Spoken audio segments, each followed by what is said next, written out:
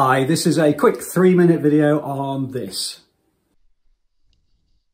Hi, this is the fourth video in the playlist. We're looking at five quite difficult GCSE questions. You can download the worksheet from 3 Minute Maths or please do stop the video, have a go at each of the questions and then compare your solutions. In the previous uh, video we completed through to question number 3. In this one we're going to start from question number 4.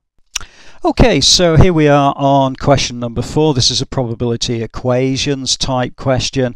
Uh, please do have a look at this particular question. Stop the video and have a go.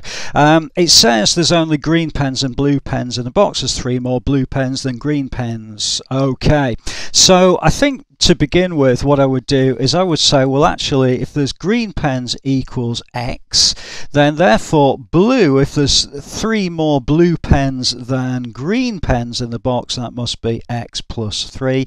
And also the total amount of pens in the box must be the value of the green, the value of the blue, plus 3. So therefore that's going to be 2x plus 3. And what it allows us then to do is to draw a probability diagram showing what's going on with this particular uh, probability. So I know we need to work out, um, I'm going to take at random two pens from the box and I'm going to show the probability of two pens the same colour as that. But before we do that, let's have a go at just actually writing out a diagram. So therefore we've got green, and we've got blue. And what we've said is that the number of green pens is x out of 2x plus 3. And the number of blue pens is going to be x plus 3 also out of 2x plus 3. Okay, what happens with the second pick? Well, in the second pick, we've also got green and blue, but in this particular case now, because we've got one pen missing, it's now going to be 2x plus 2 as a denominator. Okay, so let's what, look at what happens if green is taken the first time round. Well, it means then that green would be 1 less, so there's going to be x minus 1. However, there will be the same number of blue pens in the box, but because we're relating it to x, then it's effectively going to be, and I'll just put this in brackets, x minus 1 plus 3. Okay, because there's three more uh, blue pens than green pens, but we've actually taken away one of the green pens. So therefore that's going to be x plus 2. Okay, so just a little bit of a tricky one there. Okay, so I'm going to draw my second uh, probability if they took a blue pen the first time round. And now again, it's going to be 2x plus 2 and it's going to be 2x plus 2 as denominators. Um, if I took a blue pen the first time round, then there's still going to be the same number of green pens. That's perfectly fine. However, there's going to be one less blue pen, so therefore it's going to be x plus 2. So what am I interested in? Well, I'm looking at pens of the same colour. So therefore I'm interested in green, green, and I'm interested in blue, blue. Okay, how do we work that out? Well, green, green, we're going to multiply across the branches. So effectively what I'm going to get is x times x minus 1 all divided by 2x plus 3 multiplied by 2x plus 2. Okay, now it doesn't look particularly great, but I'm going to multiply it all out and I've got x squared minus x all divided by 4x squared plus 10x and that's plus 6. So not a particularly great one to start off with, but hopefully it'll work out for us. What happens with blue blue?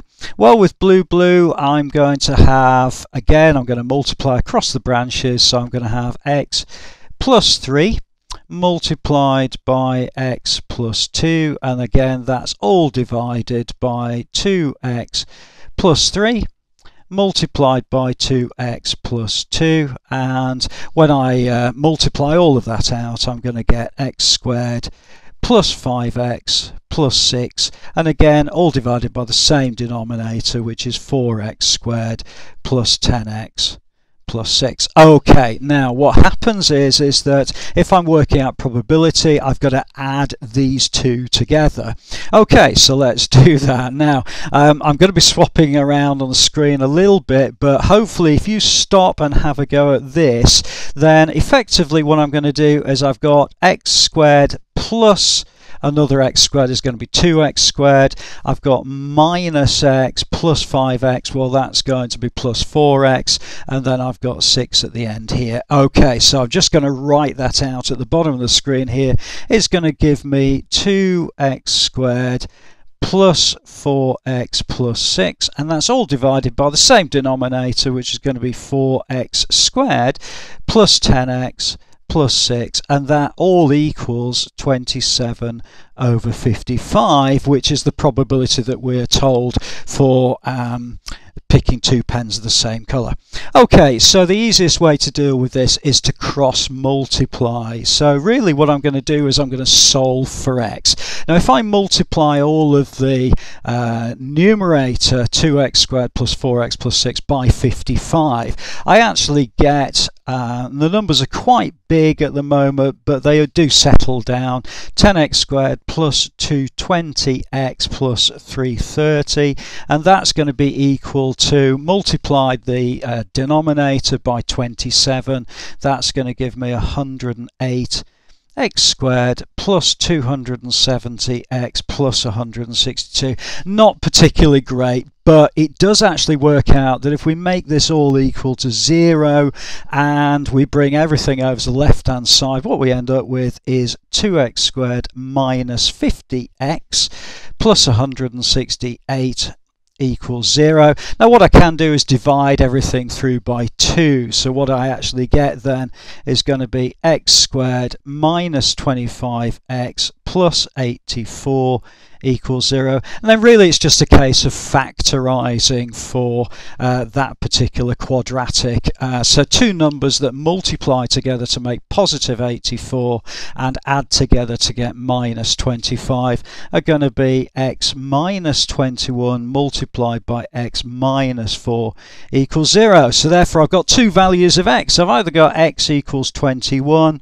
or x equals 4. Okay, now if we go back to the original question, it says there are more than 12 pens in the box, right in the middle there, more than 12 pens in the box. Therefore, the value of green pens, which if you remember was the value of x, is more than 12, so therefore there must be 21. So green pens equals 21 and that would be the answer to this particular question. Okay, so I'll just give you the opportunity to go back and have a little bit of a snapshot there. I hope that's been useful for you, bit of work on this particular video. Please do let me know in the comments how you got on and I look forward to seeing you inside the next video. Okay, so I hope the video was useful. Please do add a comment below if you're not sure about anything. I'll always come back to you. Subscribe to the channel. I'll look forward to seeing you inside the next video.